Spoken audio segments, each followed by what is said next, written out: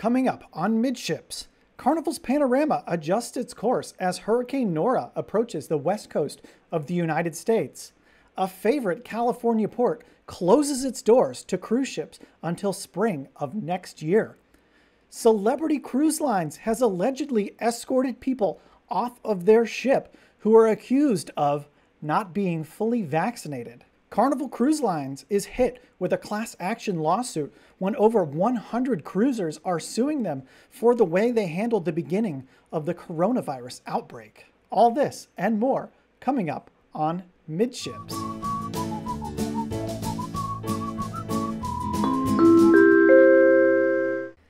Hey, hey, welcome to the Midships YouTube channel. I'm your Captain Corey. Before we get started today, I want to remind you that you have one more day to enter our giveaway. If you'd like to win this cruise swag, go ahead and follow the link in the description below or up in I think it's this corner now, up in your upper right hand corner. Just click the link. It'll take you to the video that tells you everything you need to know to enter. And if you just can't wait to get your hands on this and our other giveaway cruise swag, there are Amazon affiliate links in the description below. You can even customize the color of your passport holder or your pool towel bands. Plus, it's a chance to support this channel by supporting yourself. Thanks so much for so just 2 days after Hurricane Ida affected cruising in the Gulf of Mexico, we hear news coming from the west coast that there's yet another hurricane and this one is named Nora and she is now currently affecting the ports of call for a Carnival's cruise ship, the Panorama, that's currently sailing out of Long Beach, California. Now, Panorama's been in the news a couple times over the past weeks. As you might recall, she's had some issues with her propulsion system, and we are still not sure if those issues have totally been ironed out or maybe we have a temporary fix that's keeping her going. But we're going to get into an article from cruisehive.com and this is written by Emery Thacker, entitled Carnival Cruise is Adjusted After Hurricane Nora Sweeps Through the Mexican Riviera.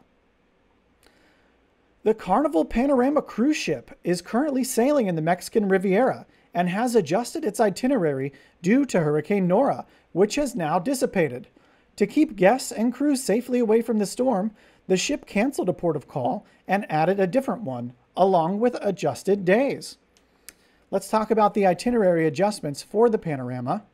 Hurricane Nora has already finished sweeping through the Mexican Riviera, causing damage and flooding across the region, including at the popular cruise destinations of Puerto Vallarta and Mazatlan.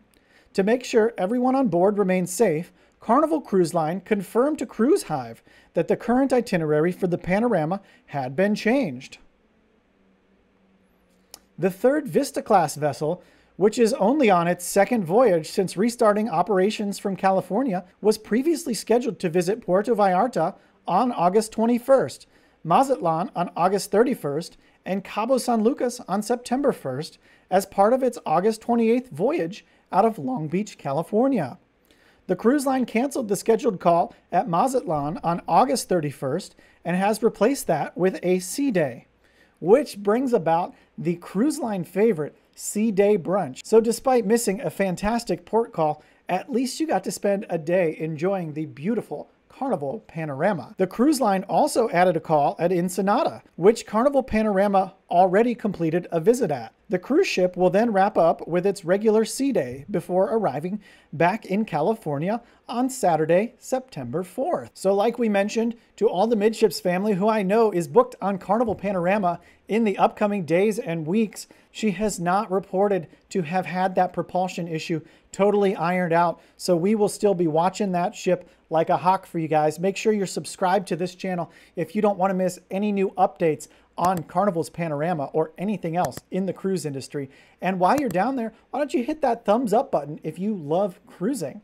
Now, let's keep talking about the West Coast because a favorite port of many has just said no cruisers until March of 2022. Let's talk about that now. From KEYT.com, Santa Barbara suspends cruise ship visits until March by Julia Guyon and Tracy Lehr.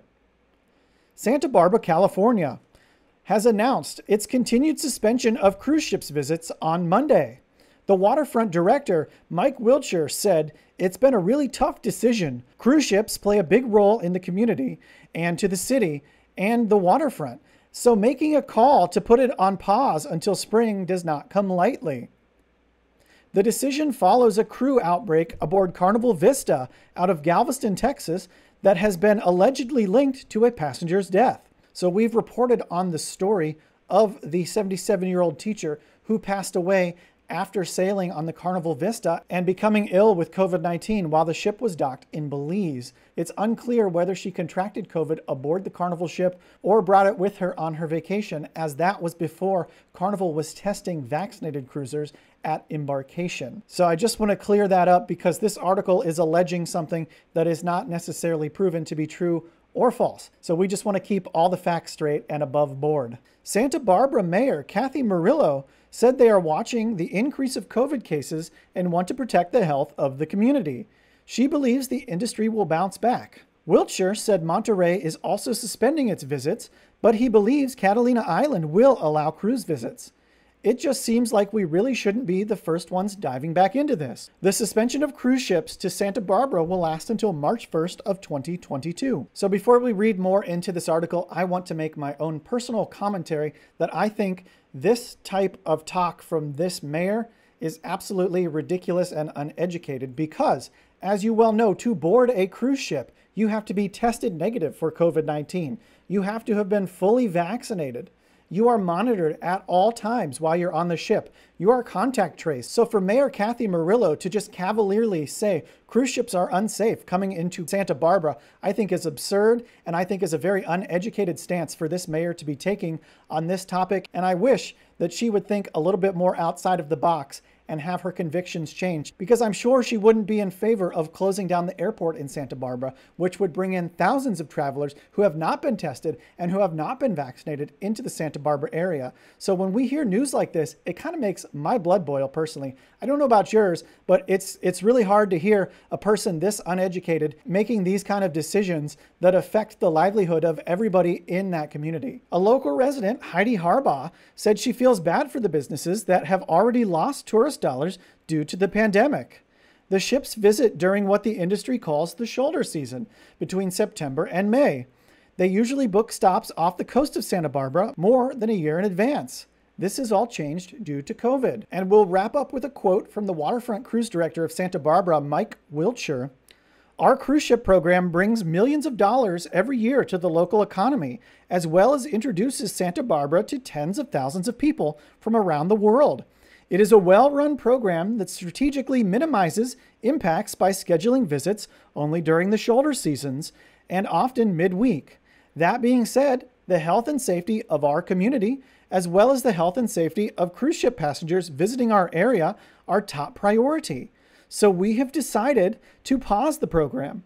We remain optimistic that once we're back to pre pandemic status, Santa Barbara will return as a premier destination for the cruise line industry.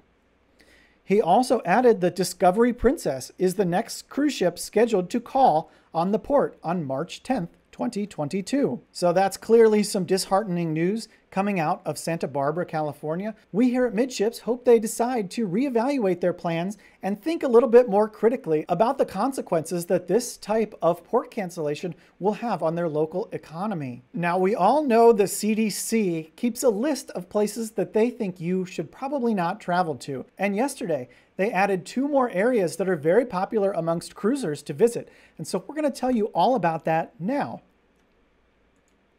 In an article from CruiseHive.com's Robert McGilvery, CDC elevates two more Caribbean cruise destinations to level 4, do not travel. The Center for Disease Control and Prevention has increased the COVID threat level to level 4, signifying a high risk of COVID transmission for two additional cruise destinations on August 30th.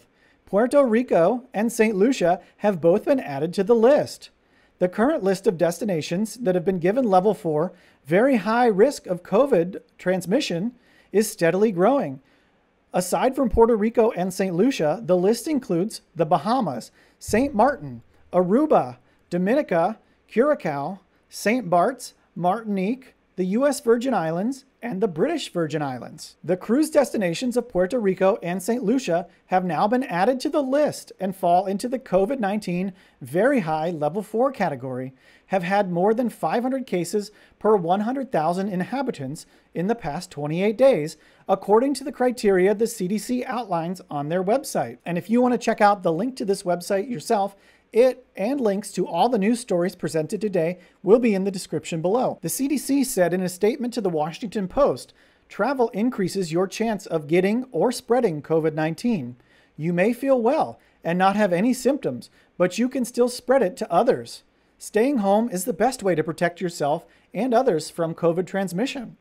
Travelers need to be aware that they can spread disease at their destination among people who may not have the same access to vaccine and quality medical care that they do. But as it stands, the CDC's guidance is just that. However, if CDC guidance is coupled with the State Department, which it usually is, travelers could expect to see some other issues. As an aside to this information, I'd like, as an aside to this information, I'd like to add something else. Many of the islands that these cruise ships dock at in these areas that are considered a level four high risk of transmission are actually the cruise line's private islands. So to say that there's a high risk in that exact particular spot is a little bit of a stretch when more than likely the risk is sampled from the areas where the inhabitants of the countries live. So I read a story from a consumer advocacy group that talked about a couple who were booked on a celebrity cruise who made it all the way into their cruise cabin, had a bite to eat, and came back into their cruise cabin only to be removed from the ship before they pulled out of port by ship security. So if you're curious like I was, let's go ahead and dive into the story so you can learn a little bit more of what happened to this couple. From the Elliott Advocacy Agency. Written by Michelle Couch Friedman. Well, that didn't take long. The first wave of unvaccinated and partially vaccinated passengers who've been denied boarding to their cruise ships have washed ashore. As the cruise industry begins to return to the waterways, mass confusion about the requirements for cruising has ensued. One of the first casualties of this chaos was Joshua Maxwell and his fiancee. They showed up at the dock earlier this month, planning to set sail on Celebrity Cruises Equinox. Unfortunately, they weren't fully vaccinated, and the cruise line rejected the couple, the couple and sent them home. The twist? Maxwell says vaccination requirements confused cruise line employees too. As a result, he says the couple were allowed to board the ship and settle into their cabin before being forcibly removed by security only hours later. So, what's going on? Maxwell's unpleasant tale should serve as a warning to would be passengers everywhere. If you've got an upcoming cruise, make sure you're fully vaccinated or you won't be cruising anywhere except back to your house. And this is totally true unless you fall into a very limited category of people under 12 or people who have a doctor's note that exempts them from vaccination on certain cruise lines. If you're not vaccinated, don't even bother planning to cruise until at least after November and more than likely until at least 2022. Earlier this summer, Maxwell and his fiancee booked their Caribbean cruise. They would be aboard the Equinox and they would board in Fort Lauderdale on August 1st. On the day of departure, the couple made their way to port. They were especially excited as the cruise was more than a vacation. The couple planned to marry during the trip. And we have a quote We arrived at the port early as celebrity instructed. Before the trip, we both took a PCR test and received negative results. At check in, we provided those results to the cruise line. We received the first round of the Moderna vaccine and we shared that information as well. Then we went through four security checkpoints. At each station, the employees photographed our identification, our vaccine cards, and our negative coronavirus tests. After that, we boarded the ship, went to our cabin, and unpacked for the eight day cruise. After unpacking, the couple began to explore the ship. It was still several hours before the scheduled departure. First, we had dinner, Maxwell recalled. We were happy to finally be on board and we were ready to set sail. But as the couple settled back into their cabin, the evening took a shocking turn. Maxwell says that as they were relaxing after dinner, there was a knock on their cabin door. It was now just 10 minutes before the scheduled departure of Equinox. A woman speaking broken English said something about a COVID test. Maxwell recalled. We weren't sure what she wanted, but showed her the negative test results and she left. The couple barely had time to ponder that exchange before a more forceful knock hit the door. This time, Maxwell could not believe his eyes. Now, there were five or six big guys in security outfits standing there. The group leader said that we had to leave the cruise immediately because we weren't fully vaccinated. At that point, the security guards began treating us like common criminals. The news devastated my fiance. She was crying. The guard told us that we had five minutes to get our things and get off the ship. Then he said that the police were waiting for us outside as if we had broken the law. They just used this as a scare tactic to get us off the boat faster. Maxwell said he tried to reason with the officers, explaining that they had successfully gone through all security checkpoints. By this time, we had been on the ship for hours, Maxwell remembered. I showed him our vaccine and testing cards, but they didn't care. It was clear from the demeanor of the officer that there would be no negotiations. The couple's fate had been sealed. Hastily, they tossed their belongings in their bags, and the burly guards quickly escorted them off the ship. And soon, the stunned and devastated couple were standing on the dock, watching Equinox sail away without them. Maxwell said he was stunned that the cruise line could kick them off the cruise and abandon them. So, this is a story and a warning to all of you who have cruises. Be sure you are checking your cruise planner, you are checking your cruise line's website, you are checking with midships to see if there are any protocol changes or any requirement changes on your cruise line to make sure you don't miss something like this couple did that, that resulted in them missing what would have been their wedding at sea. Now, there's always two sides to every story, and we have yet to hear celebrity side of the story, but I can tell you it sounds like this couple didn't read the fine print in their cruise planner because from everything that I've seen and investigated, if they had read the fine print, they would have known that they did indeed need to be fully vaccinated for 14 days before sailing aboard celebrity cruises. Carnival Cruise Line is back in the news and they do not want to be. Carnival failed to protect passengers from virus despite warnings, lawsuit claims. And before we read this, this article is written from a certain point of view. It's going to make claims which have not necessarily been corroborated, so please do not associate midships with any claims in this article.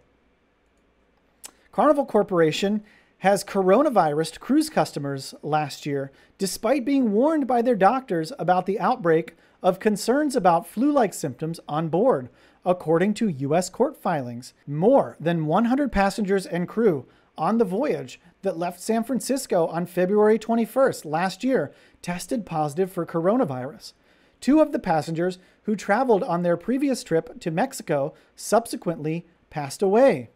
The company declined to comment on the proceedings, but said it implemented a set of protocols flexibly designed as needed to adapt to the changing public health conditions associated with COVID 19. Carnival says their fleet wide cruise ships have protocols and precautions far superior to most other sectors and some of the highest level COVID 19 mitigations in place in any setting in the world. So that's kind of a tough read of an article. Hopefully, you got the gist of it. There is now a lawsuit from all the folks that were sailing at the beginning of the pandemic on board Carnival Cruise Line, and they are claiming that the cruise line is solely responsible for them contracting COVID 19 while on board. So tell me, what are your thoughts on that? Should Carnival be held liable for something that the world did not quite really know or understand at the time? Or do cruise passengers bear some responsibility if they get sick? While on board their vacation. Don't forget the Midships Cruise Swag giveaway ends tomorrow at noon Eastern Time. Make sure you use the link in the description below to head over to the giveaway video. Thanks so much for stopping by today, and until next time, we'll see you on the Midships.